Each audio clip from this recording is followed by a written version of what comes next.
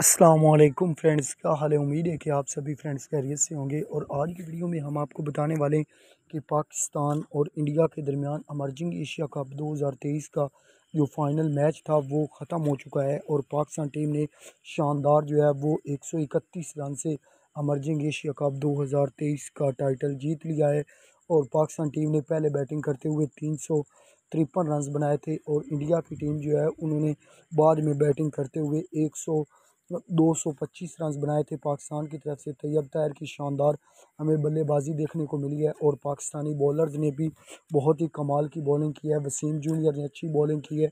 इसके बाद पाकिस्तान के स्पिनर ने भी अच्छी बॉलिंग की है। अरशद इकबाल की शानदार बॉलिंग देखने को मिली है और भी पाकिस्तान के बॉलर्स ने अच्छी बॉलिंग की है और शानदार जो है वो अमरजिंग एशिया कप 2023 का टाइटल अपने नाम कर लिया है।